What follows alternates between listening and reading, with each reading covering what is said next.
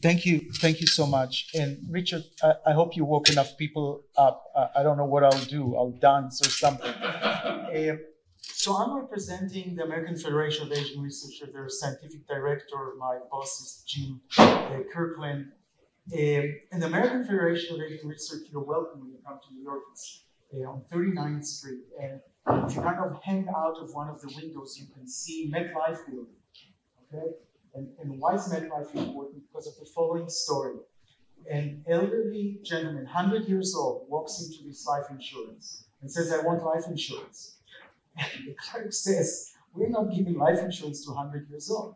And the old guy says, That's not true. My mother is, she's 120, she's insured here. So the clerk thinks better, they go to the boss, they think it's a marketing opportunity. They come back to the old man and say, You know, we'll be happy to give you life insurance.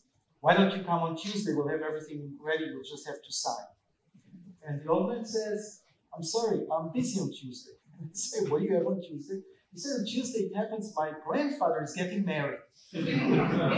How old is your grandfather? He said he's 150. 150 and wants to get married? He said he doesn't want to, but his parents puts lots of Now, let me tell you, when I started, one of the studies I've been doing is centenarian studies, and when I started there, the joke was funny at my grandfather's getting married. But uh, after being in this field for a while, you needed to build the next generation which, by the way, also reflects the complexity, right? If we're going to have 150 year old whose parents are telling him what to do, we're going to run into new trouble, right? There's uh, unintended consequences to that.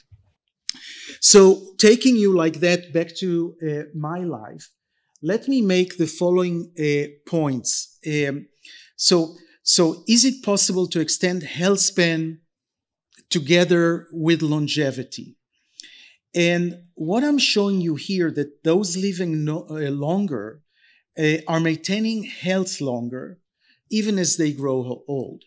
So what you see in green is what happened to regular people who, and, and what we're looking at is disease-free survival. Okay, they all, they're all, the centenarians are all 100 years old, but what's their health span? And you see that the control at 60, they're trying to accumulate, starting to accumulate the disease. And when they get to 80, only maybe 10, 10% of them don't have a disease. But you see that the centenarians live on average 20, 30 year longer without a disease. And even at age 100, 30% of them don't have a disease. In fact, some of them just don't wake up one morning. But this is not the interesting thing I want to tell you. The interesting thing is that they have compression of morbidity. They're sick very little time at the end of their lives, like the 30% who don't wake up in the morning. Uh, and this was the beginning of what we call the longevity dividend. We have data from the CBC, the CDC, that the last, the cost, the medical cost in the last two years of life for somebody who dies at 100 is third of those who, who dies at 70. And those guys, when they were 70, they even didn't go to the doctor because there was no need for that. Uh, so this was the economy until uh, Andrew Scott came and said, "You're way off because because those guys. It's not only that they don't have medical costs." Their value is really high. They're traveling, they're spending in the economy. So you're, you're way off. That's where it came for $38 billion a year instead of $9 trillion. Um, so, so yeah, so that's the uh, compression of morbidity and economical benefit. And I, will just say that's a different lecture, but we uh, found diseases, uh, we found genetic, not only we found longevity genes, but they are already drugs that developed by Merck and Ionis uh, as part of, of what they've seen uh, what, what we've seen. And let me tell you another thing. AFAR is going to announce, I'm telling you, but they're going to announce soon, we got funding to recruit 10,000 centenarians because uh, uh, we need the, they're just like the hallmarks of aging, there are several ways to become a centenarian, okay? So we need more centenarians to do a better discovery, and, and actually we're, we're going to start the project this year, it's funded. So why do we think we can increase health span and lifespan for everyone? And by the way, now most of my talk, you heard it before. I'm trying to make it points that, that, you, you all saw the, the hallmarks of aging. Uh, so let, let me make, we, um, we, from the industry perspective, I think two things are most important to get investors. One is there is hallmark of aging. My definition of hallmark of aging is that it goes wrong when you age, and if you treat it, you increase health span and lifespan. And the second thing, and it's important for the next, the, the right side of what you're seeing, the second thing is that you treat one hallmark, you affect the others. Okay, we, we don't have to treat all the hallmarks in order to get health span and lifespan. And this brings me to the second important thing, and I think this is the TAME study, and I think uh, Richard just made the case that when you ask people on all level, they think the TAME study is very important, and I'll try to convince you why it is.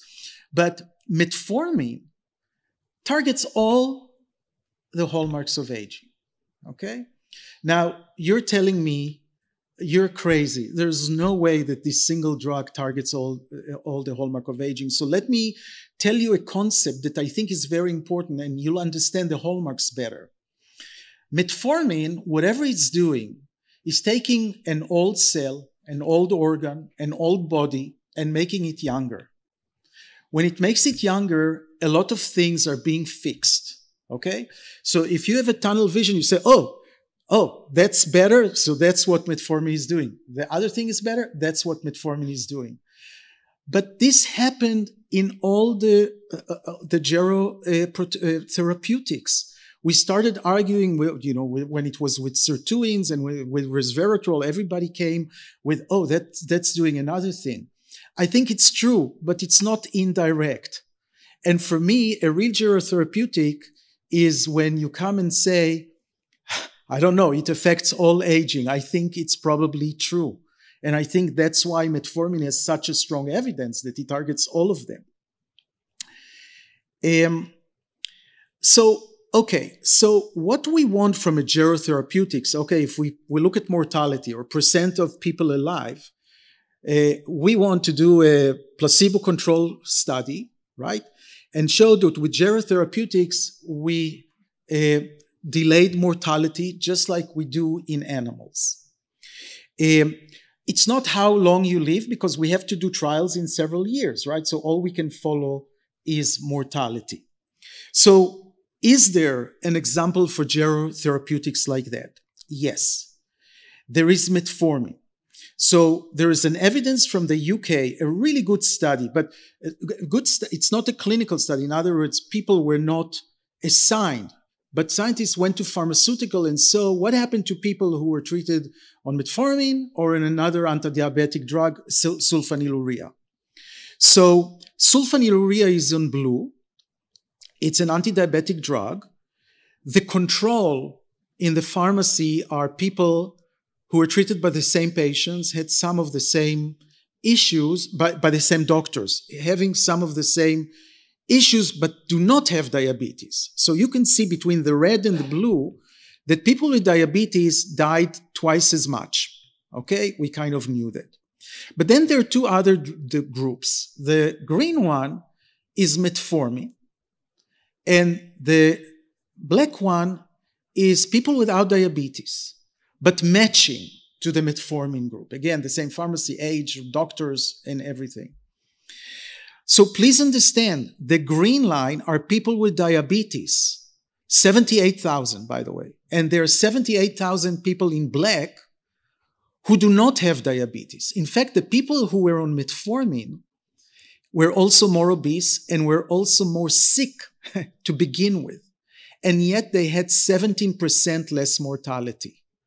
So whether you compare metformin to diabetes or even to non-diabetic people, it has a marked effect on longevity. Okay, this is kind of the drug we want to test.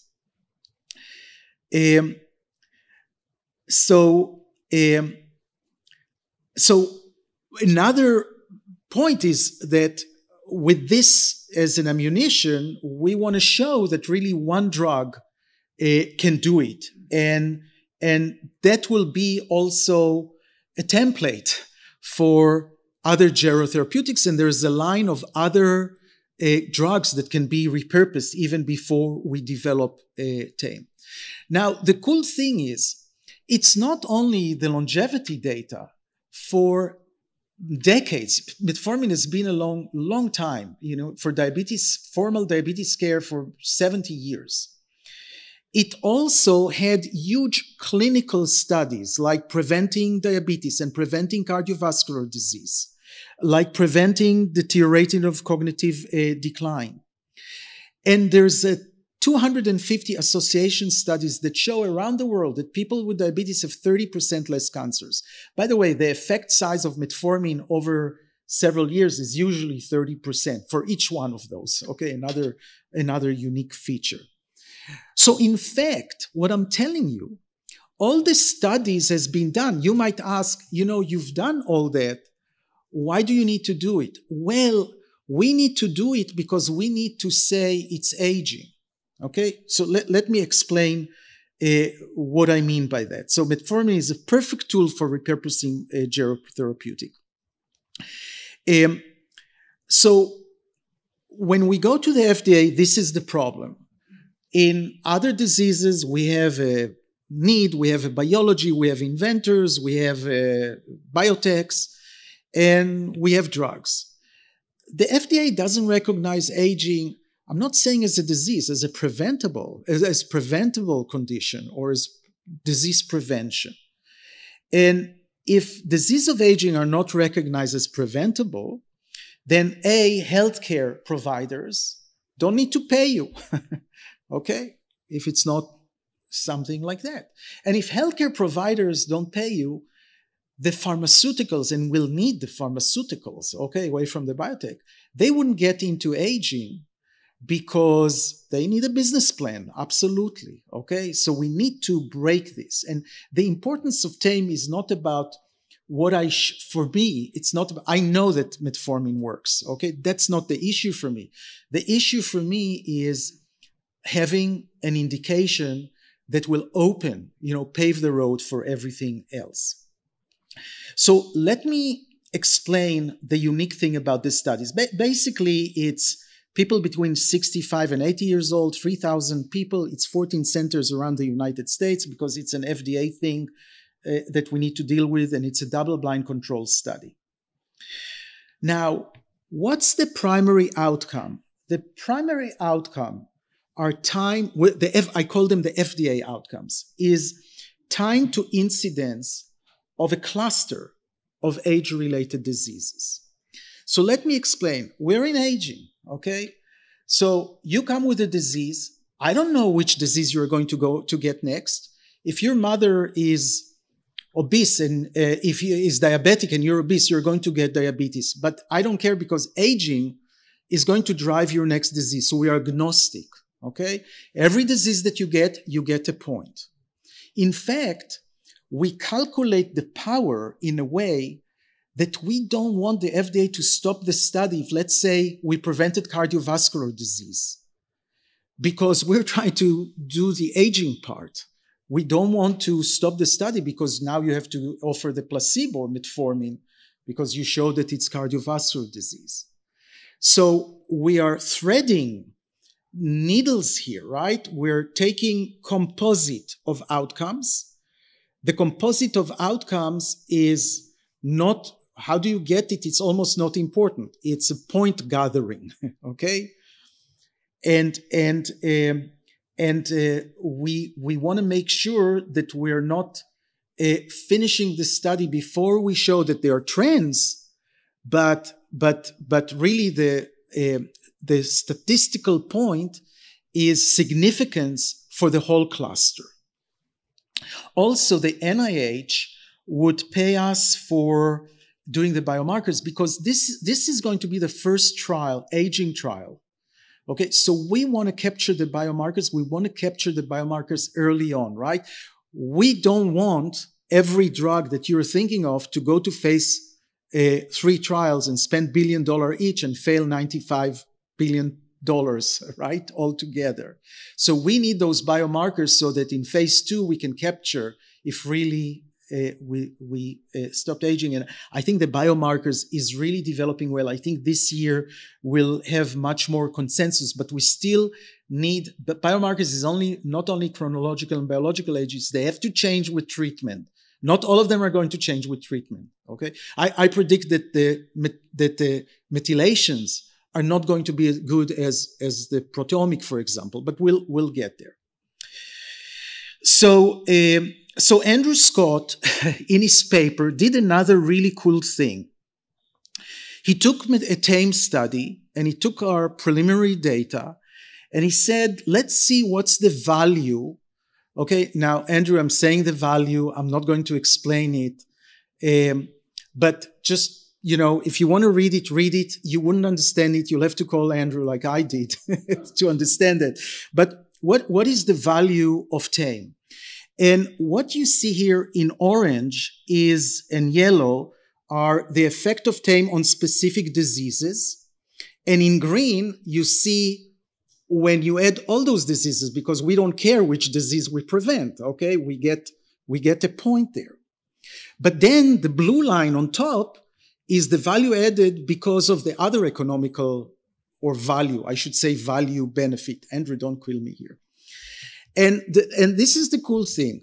For TAME, we need about $10 million a year, let's say $60 million. Um, and the value, if you calculate from here, is $150 million. If we treat looking only at the 1500 people on metformin, okay, because the other are on placebo. In other words, those 1500 people on metformin are actually to, going to have a value that's twice as large as our investment in TAME. Okay, that that's that's how uh, uh, terrific the calculation is. So uh, so that's the message here. So let me now show you our visit at the FDA. Ron Howard was with us, interviewed uh, the FDA, and we want to show you. Um, a I, I want you to see how the FDA says bring it on, okay? And then I'll finish. You have it, guys, right? Today, Dr. Barzilai and his colleagues will try to convince the FDA to consider their study. In advance of their critical meeting, they gather to prepare. We are here representing the field of the science of aging. And we think that this is a historical day for us because we're going to offer something that we believe is paradigm changing. I really want to frame the discussion today as what would we need to show in a clinical trial that would allow the FDA to approve a new indication for metformin for delaying multiple morbidities related to aging. Because we think metformin is the first one but there are others that could be better than metformin, and we want to make sure that that's the template. We have that hypothesis that metformin is one of those rare opportunities where it might act in a general fashion. It's an attractive hypothesis. The trial is required to see if it's true. It started with a conceptual innovation that aging can be modified. Then years of work by a growing number of scientists in labs around the world and years of convincing people of their ideas. Maybe this is what a breakthrough looks like.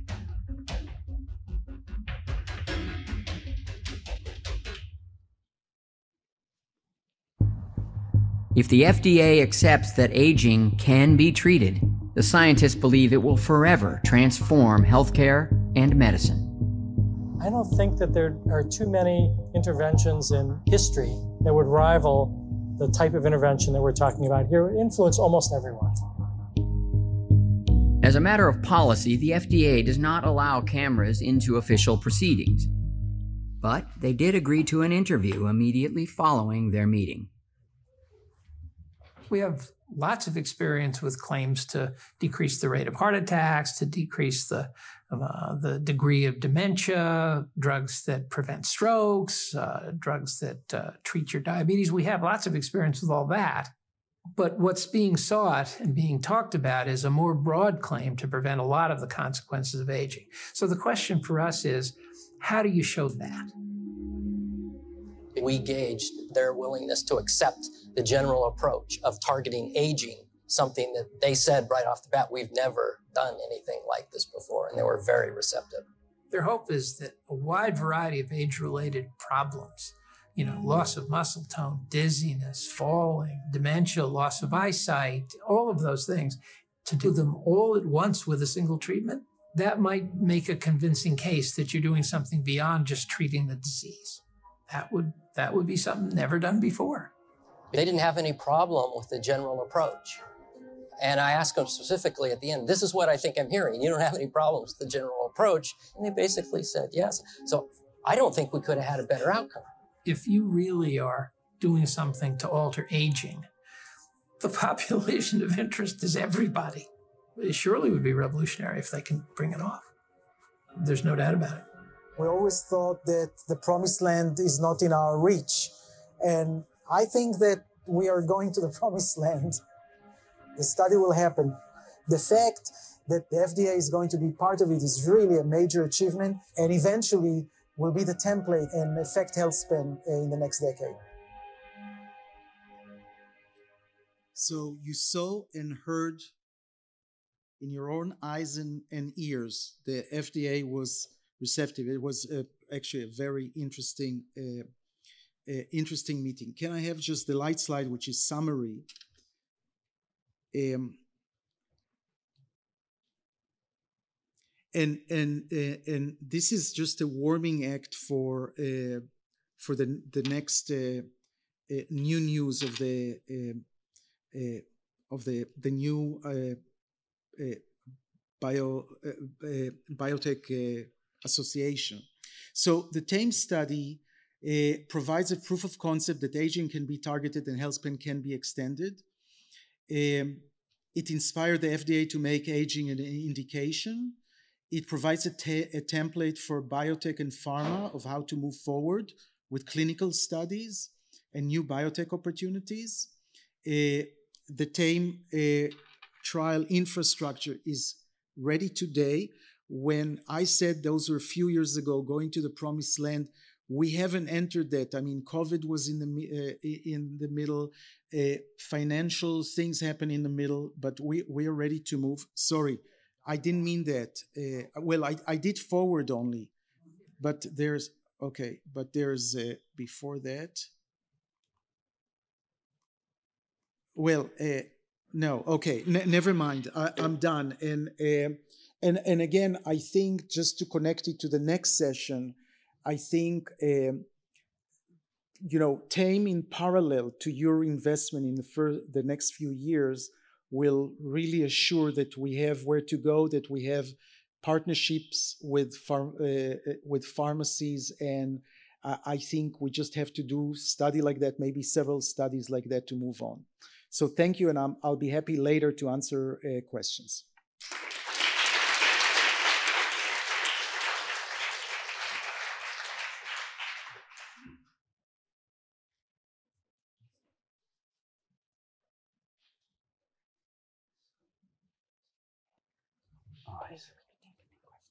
Yeah.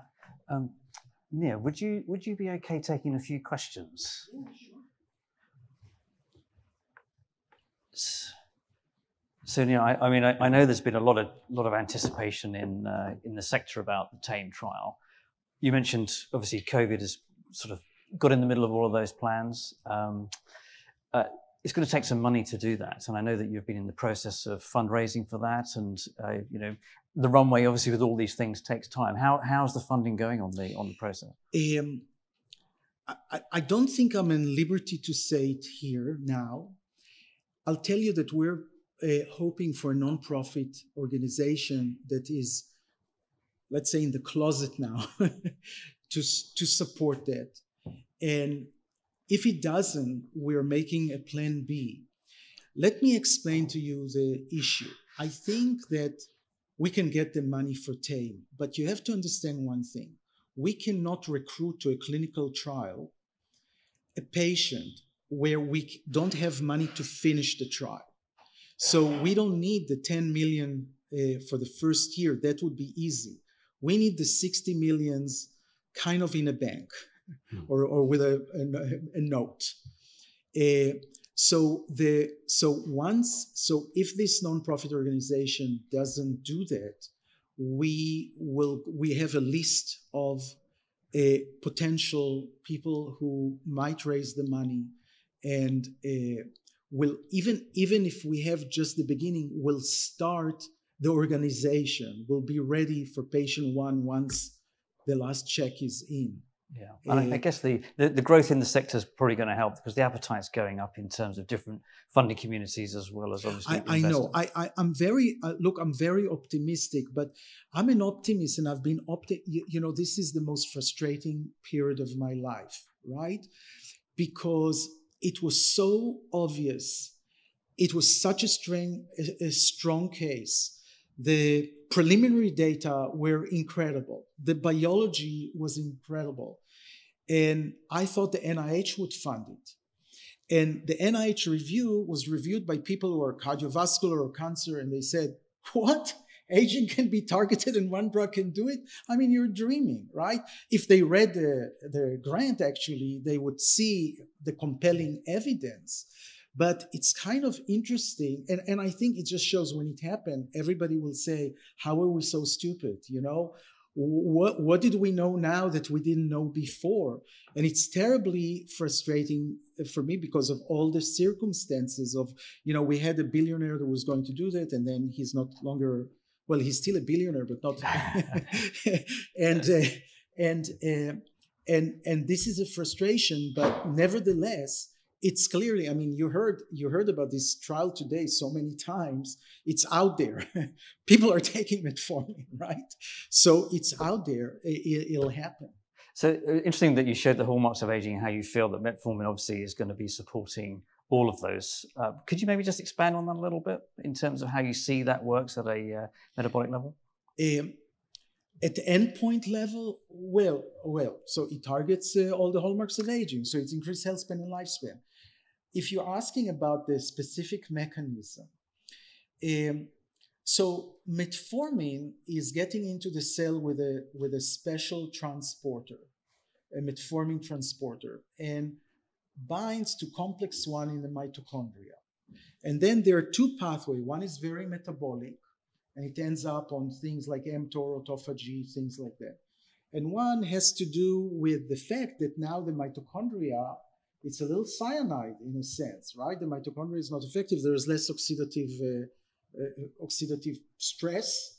Um, there's effect on inflammation, and the complexity is that you can have metformin acting on some of those pathways even without mitochondria. There's rho zero cells without mitochondria. It still does something, you know. You can do it in animals that don't have AMP kinase, which is thought to be the nutrient the first nutrient regulator of this pathway. You have activity without that. You have activity that's epigenetics, and uh, you have effects on microbiome that are associated with metformin.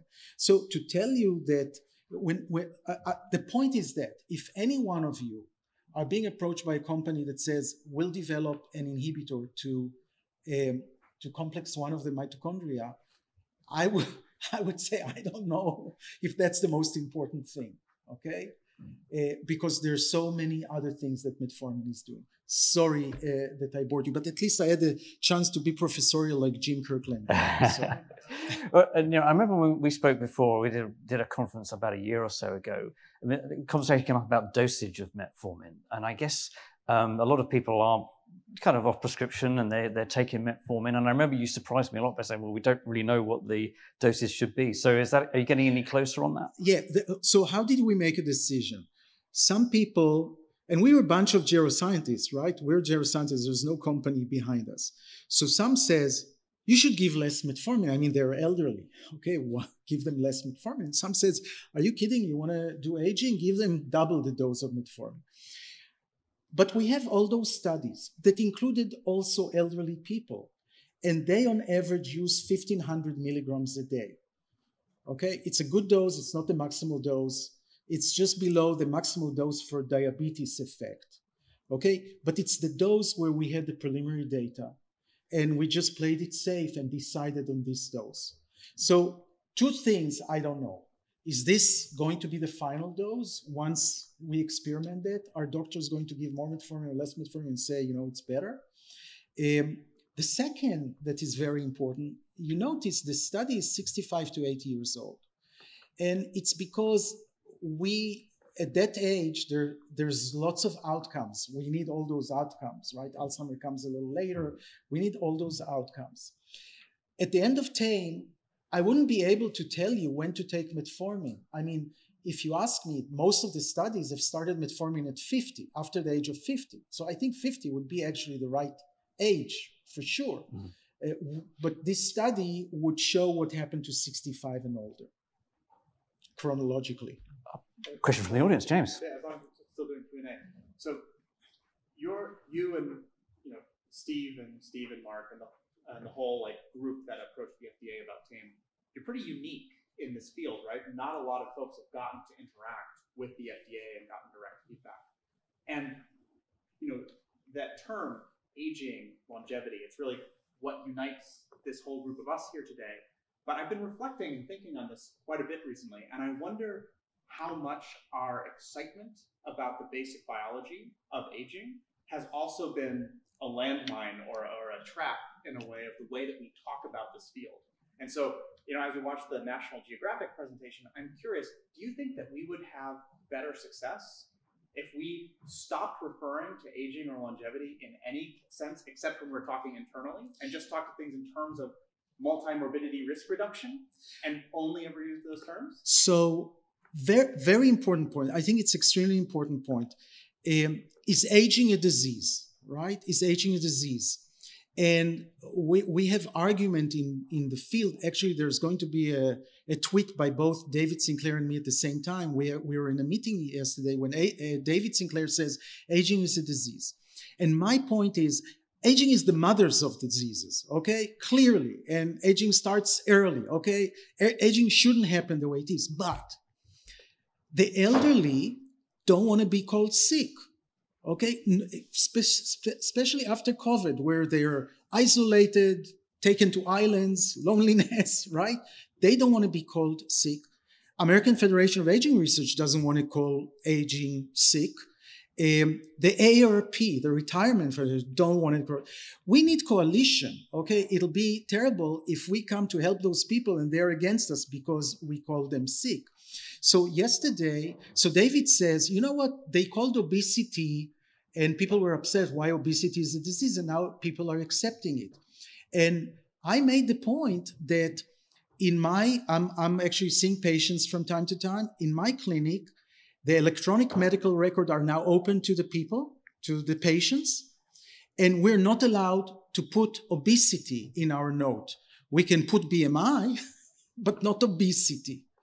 And then we're going to bill for somebody who's obese, and the insurance company says, You didn't say obese. So we have a lot of issue. But I think it shows you if we call aging a disease, you know, eventually the elderly will say, I don't want to, I don't want you to write it like that. So the four o'clock, I think now, the four o'clock tweet is let's call aging something else. Okay?